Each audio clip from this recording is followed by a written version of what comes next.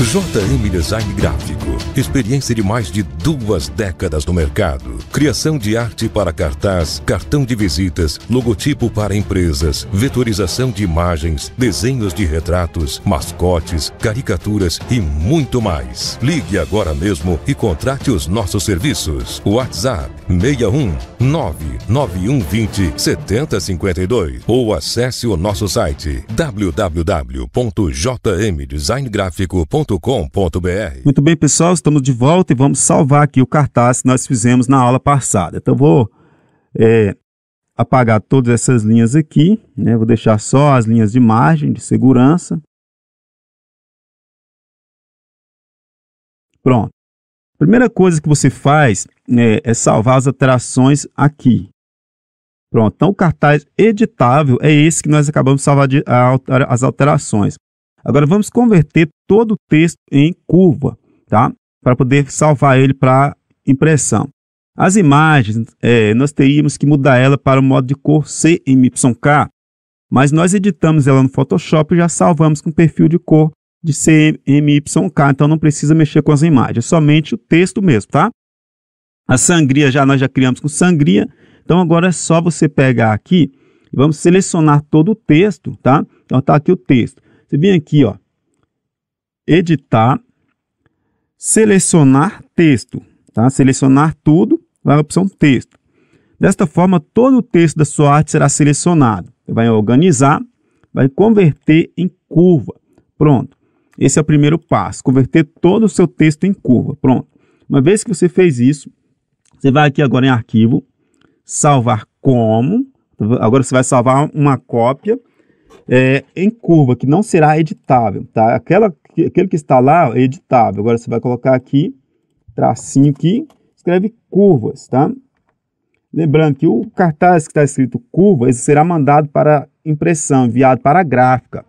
Então você vai entrar em contato com a gráfica que vai fazer impressão para você e vai perguntar se eles usam o CorelDRAW, qual que é a versão do Corel que eles querem. Se, se eles usar o CorelDRAW, você vai colocar aqui tipo, tá?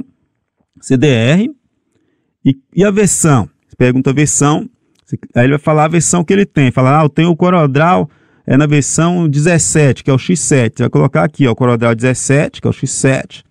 Pronto. Você não precisa fazer mais nada aqui, pessoal. É só clicar em salvar. É simples assim, tá? Não complica as coisas não, pelo amor de Deus.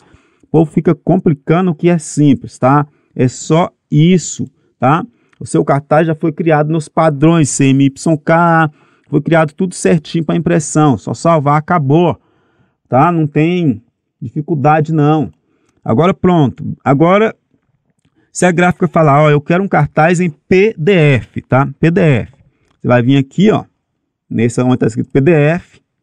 Vem cá, tá? Vai em tipo. Aqui já vai vir para PDF, você não precisa nem mexer. Pode deixar ali curvas mesmo, não mexe em nada tá? Então vem aqui em configurações, aqui ó, tá tudo padrãozinho, bonitinho, ó, tá aqui nenhuma questão, tá? Vem aqui em pré-impressão, limite de sangramento 4 milímetros, que é o padrão que nós criamos, se não tiver 4 milímetros, você arredonda isso aqui para 4 milímetros e pronto, deixa 4 milímetros, tá? Geral, é, compatibilidade PDF-X1A, você vai colocar aqui o PDF-X1A, você clica aqui, ok? Pronto, esse cartaz aqui, pessoal, é para impressão. Já está feito, você não precisa mexer em mais nada aqui, tá ok? Só agora clicar aqui em OK, escolher a pasta onde você vai salvar o seu cartaz para impressão, tá? Clica aqui em salvar. Pronto. Ó, enquanto essa setinha aqui estiver apontando para cima, ele está sendo salvo. Vou abrir a setinha, tá vendo? Exportando documento. Ele está exportando. Quando a setinha apagar, terminou. Terminou? Então agora nós vamos exportar esse cartaz para Facebook. Agora para Facebook, para que eh, os nomes não sejam cortados aqui, ó, é necessário você observar algumas proporções. Eu já tenho uma proporção aqui salva, que eu já testei, então vou utilizar essa proporção. Tá? Então vou pegar aqui primeiramente, vamos criar um novo arquivo aqui, e eu vou criar aqui uma proporção que eu já fiz vários testes aqui para ver uma proporção que seja compatível com cartaz A3, né? e que não seja cortado lá no Facebook. Então já, então já, já criei essa predefinição. Então tá aqui, ó, Facebook. A largura anota aí. 1280 na largura e a altura você vai colocar 1752, tá? Resolução pode colocar 96 ou 72 dpi, tanto faz, tá? E modo de cor RGB. Por padrão, o pessoal usa é, 72, né? É o internacional, tá? Mas tanto faz, isso aqui não vai fazer diferença não, tá bom? 1280 por 1752 é o que é importante, isso aqui, tá? Que é a proporção, que é na hora que você portar, postar o cartaz lá, ele não cortar a parte de baixo, nem, nem, nem nas laterais, tá bom? Feito isso, é só você clicar aqui, tá RGB já, ó, colocou RGB, clica aqui em OK. Pronto, você criou o documento. Volta no cartaz original, seleciona tudo, botão direito, agrupar, agrupa, botão direito, copiar. Voltou aqui, botão direito, colar. Ó, veja que ele é diferente tamanho. Então vamos ajustar ele para caber aqui dentro. Vou ajustar, ó, aqui, direitinho, bonitinho. Bom, primeira coisa que nós vamos fazer, desagrupar o nosso cartaz eu vou pegar ele aqui, ó.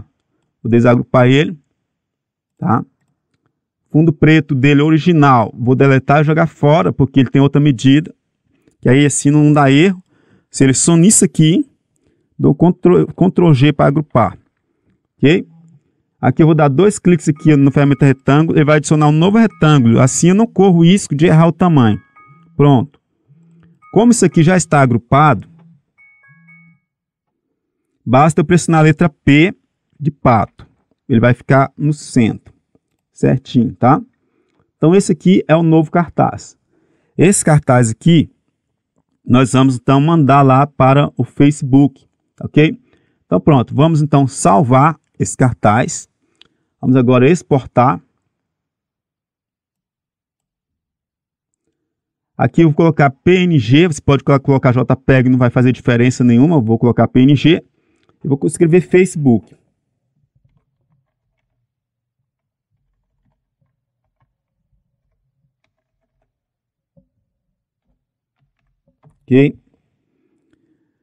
Escolheu a pasta, clique em exportar.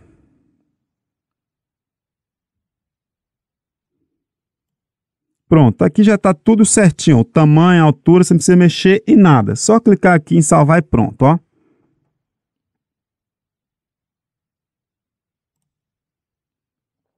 Pronto, sua arte já está salva. Vamos abrir ela para a gente conferir.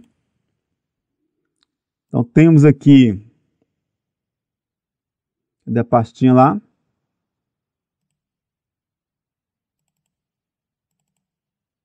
Está salvo aqui, né? Então temos aqui os nossos três arquivos aqui, ó.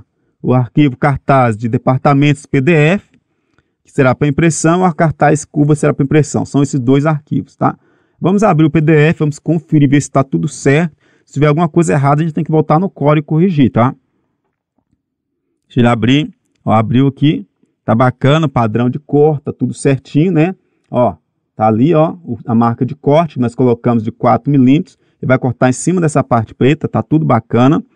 Vou deslizar aqui para me observar aqui embaixo, ó, tudo certo, ó. Alta definição, as cores estão perfeitas. Então esse aqui é o cartaz que está dentro das, das especificações gráficas, que a gráfica é, recomenda que façamos, tá bom?